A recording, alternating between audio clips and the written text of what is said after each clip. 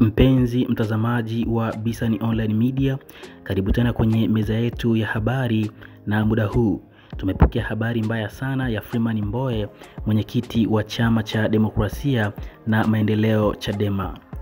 Ni miezi nane tu imepita baada ya mwenyekiti huyo wa Chadema atoke mahabusu ambapo alishikiliwa kwa takribani miezi nane pia na baadaye kuachiliwa huru.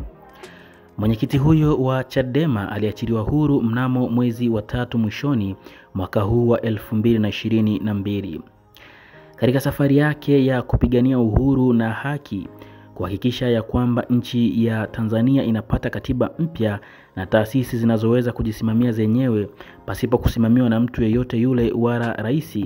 Freeman Mbowe amepitia mambo mengi sana na changamoto nyingi sana ambazo hazikumkatisha tamaa bali zilimpatia nguvu na msukumo wa kuendelea kupambania kile anachokiamini ili hata siku moja kupitia upambanaji wake hata chama chake eh, kiweze kutawala nchi hii ya Tanzania na kiweze kuwaletea Watanzania maendeleo makubwa, kwani CCM inaonekana kushindwa katika kila nyanja, japo inajitahidi kufanya, lakini bado Chadema chini ya mwenyekiti wao Freeman Mbowe wanasema CCM wanapuyanga.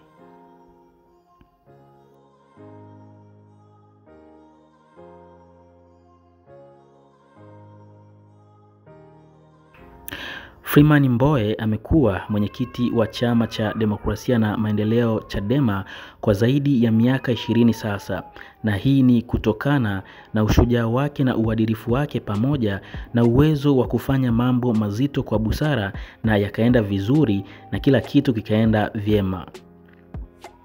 Ndoto kubwa ya Freeman Mbowe ilikuwa ni kwamba siku moja aweze kuikarisha Chadema mamlakani akiwa mwenyekiti, lakini mpaka hivi sasa bado ndoto hiyo haijatimia. Wiki moja na nusu iliyoweza kupita tuliweza kuona katika baadhi ya vyombo vya habari na hata katika mitandao ya kijamii kwamba mwenyekiti huyo wa chama cha demokrasia na maendeleo Chadema anaumwa na hali yake ni mbaya sana, huku wengine wakisema Freeman Mbowe hatupo naye tena, kwamba amefariki dunia, na hii ni kwa sababu pengine hajaonekana kwa muda mrefu. Hizi ni habari ambazo ziliweza kuzua taharuki nchini, vilevile vile kwa wanachama wa chama cha demokrasia na maendeleo Chadema.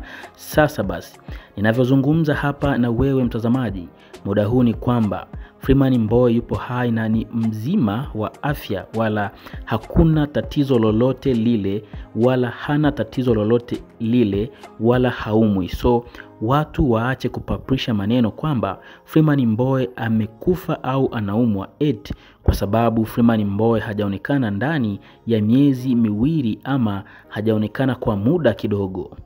Ameyasema hayo James Mbowe, kijana ama mtoto wa Mbowe. Hiyo ndiyo taarifa rasmi iliyotufikia katika meza yetu ya habari, ambayo kwa namna moja ama nyingine inaweza kuwa mbaya kwa baadhi ya watu kutokana na watakavyoipokea. So eh, kuhusiana na hii una yapi ya kusema?